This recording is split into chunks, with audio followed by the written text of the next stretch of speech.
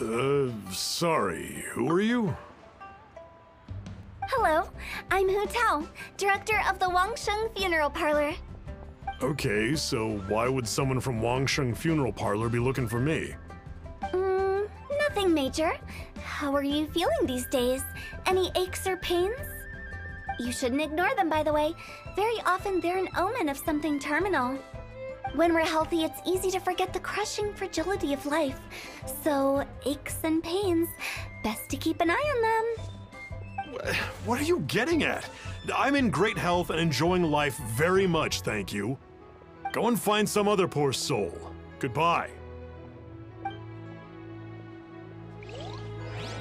Why did they get angry? What's wrong with a few earnest health tips? Paimon thinks it's because they're coming from the director of a funeral parlor. Uh, and you are? Be quick. I'm busy. Hello there. Would you be interested in understanding a bit about our services at the Wangsheng Funeral Parlor? Wangsheng Funeral Parlor. Uh, I'm not in need of your services. So you're out here looking for new customers? Don't you think this might be a bit of a crass way of going about it? Hardly. Isn't this the fashion these days? Bring the service to the customer and all that. I'm not sure it's every service that falls into that. Uh, anyway, please bother someone else if you don't mind. Ugh, another failure. Still, not the end of the world. Paimon's curious. Does this approach ever work out for you?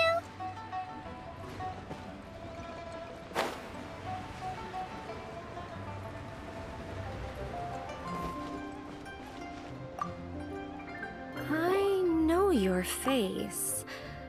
The Wangsheng Funeral Parlor Director, right? I'm sorry, I'm really in no need of it. Don't apologize. Get to know us. We've got a new sale going on. Ever hear the saying, out with the old, in with the new? Well, going out with a bang is the best way to start off in style on the other side. If you keep talking like this, I'll have to call the Millelith. Oh, no, no, no. Okay, relax. We're leaving. But Wangsheng Funeral Parlor awaits your distinguished patronage. You really don't give up, do you? Hmm? Are you trying to make me feel better? Well, thank you. Seems you understand me far better than most people. Not really. This is just getting really uncomfortable. Business development? Is that what you see this as? Surely you don't think all that was business development. then what was it exactly? Traumatization for its own sake? No, no, no. The business development ended after the discussion with the Adventurers Guild.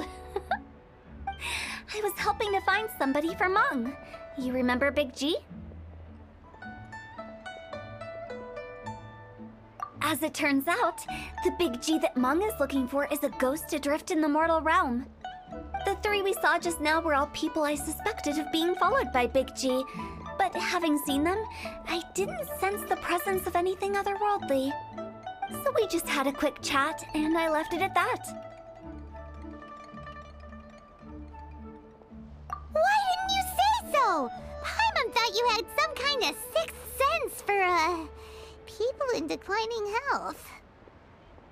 Huh? What would I need that kind of ability for? I'm no doctor. Were you seriously hoping that the director of the Wangsheng Funeral Parlor was going to start healing people? Or. Paimon was trying to subtly imply that. Uh, never mind. Paimon wouldn't know how to explain subtlety in a way you'd understand. Well, let's leave that for now and head back to Wangsheng Funeral Parlor. This Big G matter is very closely linked to Meng.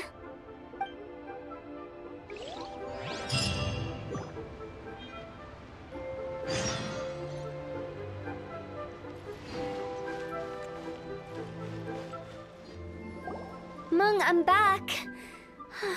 I'm afraid we're still no closer to finding Big G. I see. Well, I'm just sorry for the trouble. I've already searched in all the likely places. Who is this Big G anyway? I guess I should start at the beginning. My home was in the vicinity of Wuwang Hill. In my youth, I had a good many friends there. Big G was one of them. We were the best of friends. Inseparable, really. But one day, there was an accident. And that was the end of him. I've never forgotten. Too many memories, I suppose. I often return to Wuwang Hill. But recently, after one such visit, I started to feel strange. Now, every night, Big G appears in my dreams. I can't help but wonder did I disturb him somehow? Perhaps. I don't have proof, but I can't stop worrying. Like, how would I ever come to terms with my childhood friend becoming an evil spirit? That's why he joined Wangsheng Funeral Parlor. In place of a salary, I'm helping him deal with this matter. And in fact, what Meng has said is entirely plausible. Spirits on occasion do find a way into our world. But as for evil spirits, I think you're scaring yourself. Even I have only encountered malevolent forces a handful of times. But are you sure there's no danger? I couldn't bear for him to go around harming people. You see what I mean? Look at the state of him. If we can't find Big G, it'll eat away at Meng forever. Those people we found today were also Meng's childhood friends. I thought there was a good chance Big G might have hidden among them. But here we are, empty handed. Wuwang Hill, childhood friends? Seems like we're out of leads. Uh, uh, sorry, excuse me. Is this Wangsheng Funeral Parlor? My name's Luo Chung. I've had this awful feeling recently, like something's staring at me. Some of my friends and I went to Wuwang Hill the other day on a dare. After I returned home, I fell ill. I've been having recurring nightmares, but the doctors can't find anything wrong with me. I think that it's a curse, right? I've been cursed by a demon. Say no more. There's no doubt it's a demonic curse, all right, and a serious one at that. You believe so too? Then it's just like they say in the tales of old. The vengeful spirits of the gods who fell in the Archon War return to cast their evil curses upon mortals. And if the curse isn't lifted, it will burn through the body, laying waste to flesh and bone. Oh, what a wretched end! The symptoms I'm having are just like those described in the tales. Wuwang Hill? Hmm. No, I don't think it was a curse. It was probably just Big G. Hold your horses, both of you. There's no need to creep each other out. Isn't that exactly what you like to do, though? Wangsheng Funeral Parlor specializes in demonic stuff like this, right? Help me! I beg you! I'm too young to die! All right, all right. Don't panic. Leave it to me. You've come to the right person. However, in order to lift the curse, we need a suitable location, and we need to make some preparations. Come with me, my trusty assistants. I'm going to need your help. I guess I'll come too. Help him make the preparations first. The incense exorcism, the one I taught you. When you're ready, come and find me. Once we've finished with this, we'll get back to the big G matter. Okay, I guess. Right. Let's go.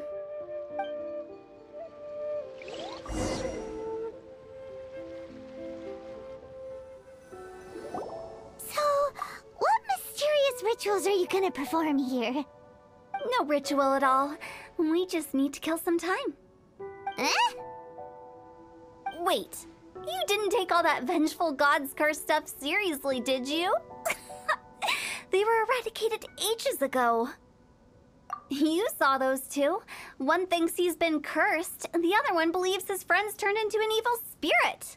It's hard to reason with them. now you see why I believe that ordinary folks should be kept in the dark. I've seen too many people lose their senses on account of things like this. If you want to calm them down, you need to convince them with something tangible. And the best way to do that is to make a great show of destroying the boogeyman they believe in before their very eyes. That might work. If you were trying to cheer up a three-year-old. You're onto something. After all, we're only afraid of what we don't know. Because you can't guarantee that telling an ignorant person the truth will improve the situation instead of exacerbating it. What I can do is pretend to pull back anyone who believes their time is nigh. But since the curse is imaginary, our fix will also be make-believe. Sense. But why would anyone believe that it's a curse? Do you know the history of the Yaksha? They once fought against the ancient gods. They fought brilliantly in a battle that engulfed the whole world in darkness. Although the gods were defeated in the end, their resentment persevered. That resentment turned into a pestilence spreading amongst the ordinary folk. Hysteric people mistook it for the curse of the gods. The plague took the lives of many, which only furthered its spread, as the dead were a breeding ground for the disease. Then someone discovered how to prevent it from spreading, purify the air, and burn the bodies of the deceased. The pioneers of these practices were, you guessed it, the founders of the Wangsheng Funeral Parlor. Paimon didn't see that coming. Really? Yes. Anyway, it took many years, but eventually the plague was completely eradicated. We've dealt with similar phenomena multiple times throughout the ages. Each time we successfully restored the balance between life and death. To sum it up, we are gatekeepers, guarding the border for the sake of both the living and the dead. so when I say this curse is just a figment of the imagination, I say it with more certainty than most. But I also can't really go telling people that the ancient plagues were real, or it would incite panic. anyway, let's wait a bit more and get ready for the show. This leyline monolith will make for a really great prop. Oh, you're finally here! We just finished our preparations. Now, look here. This device is used to drive away evil spirits. It'll absorb the curse inside you and cause it to take a physical form. But don't worry, the Traveler here is a seasoned warrior and will assure our safety. Oh, right. I forgot to tell you. It'll be fine. Will that really solve my problem? Trust the director. She might look like a weirdo, but she's serious about everything she does. How can you call me a weirdo? I mean, wouldn't you say it's more charmingly naive or disarmingly different? All right, let's get down to business.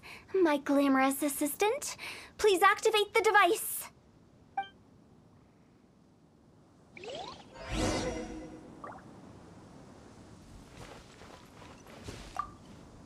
Is it really possible to materialize the curse?